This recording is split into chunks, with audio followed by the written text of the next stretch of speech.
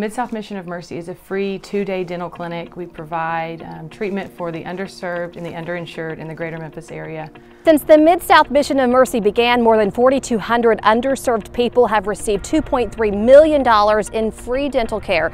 And for the more than 2,000 volunteers that help to put on this clinic every year, they say it makes them smile to help others. When I went, went away, I said, you know, I really feel good about what we did here. This, this was good.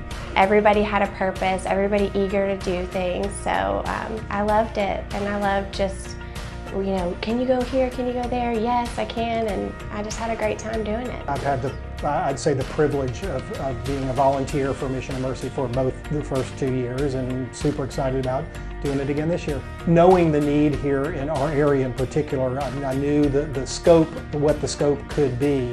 Um, and uh, um, to see a community like ours come together the way we did, even the first time, and serve so many people um, was, was unbelievable. People serve at Mid South Mission of Mercy because they understand that dental health is more than just a good smile. Oral health is related so much to overall health and just kind of whole well-being. Um, and even beyond that, the physical part, the mental part of restoring someone's smile. Whenever I meet the one patient who is leaving and crying and saying, you know, this tooth has been hurting me for so long, but now I can, you know, not have pain, I can go back to work. They're happy, they are just thrilled and uh, they're out of pain. They're more relieved, I think, just to be out of pain. For some, it builds self-esteem and confidence. To think about that for somebody getting a job. You know, for that person individually going to get a job, they're embarrassed not to have that front tooth.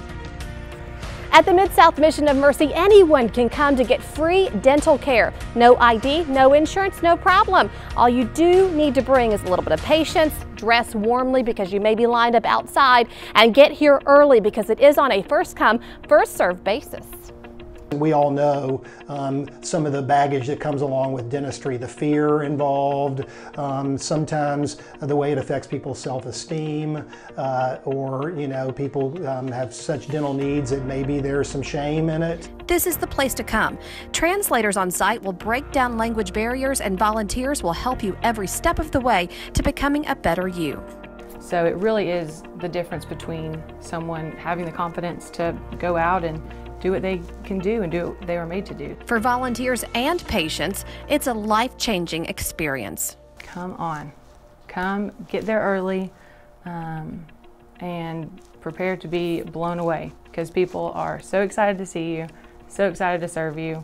I can't imagine not volunteering for it. The Mid South Mission of Mercy takes place on January 26th and 27th. For more information, go to www.midsouthmissionofmercy.org.